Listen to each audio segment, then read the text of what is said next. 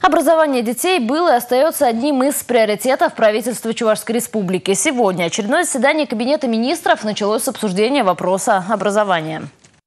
В школах Чувашии в этом учебном году за парты сели почти 14 тысяч первоклассников. Ежегодно количество школьников будет возрастать примерно на 5 тысяч. В 2016 году на реализацию образовательной программы и строительство новых школ в регионах будет направлено 50 миллиардов рублей. Всего же проект в масштабах всей России рассчитан на 10 лет и потребует 3 триллиона рублей. Об этом шла речь на селекторном совещании, которое премьер российского правительства Дмитрий Медведев провел с руководителями субъектов студентов. Михаил Игнатьев отметил, из-за нехватки помещений в некоторых школах дети учатся в две смены, а шесть зданий учебных заведений обветшали. Новые школы должны отвечать всем современным требованиям. Вступить в программу Чувашия может в ближайшее время.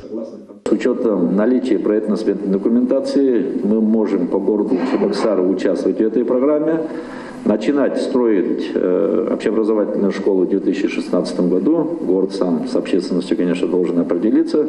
И ввести мы э, реально сможем в 2017 году. Приобретение оборудования для быстро возводимых физкультурно-оздоровительных комплексов, включая металлоконструкции и металлоизделия, еще одна настоятельная потребность. Например, ФОК на Эгерском бульваре готов уже на 70%. Его строительство должно завершиться до конца года.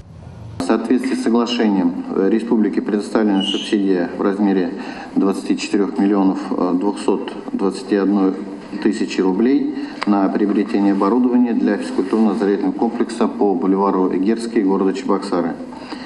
10 э, миллионов 990 тысяч рублей предлагается предоставить бюджету города Чебоксары на приобретение оборудования для бассейна оборудование будет а, приобретаться в рамках муниципального контракта. На 13 миллионов 231 тысячу рублей заключен а, контракт на приобретение оборудования для спортивного зала по результатам совместных торгов. Реализация проекта не потребует выделения дополнительных финансовых средств.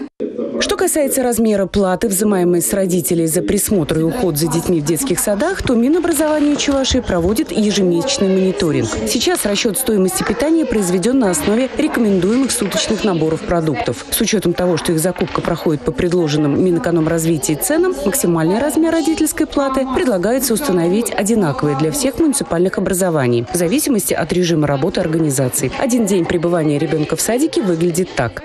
Размер родительской платы сегодня в большей степени зависит от стоимости питания и на основе санитарных норм и правил с учетом сложившихся цен и рекомендованных цен Минэкономразвития подсчитана стоимость питания. Она сегодня при 12-часовом режиме работы составляет 109 рублей.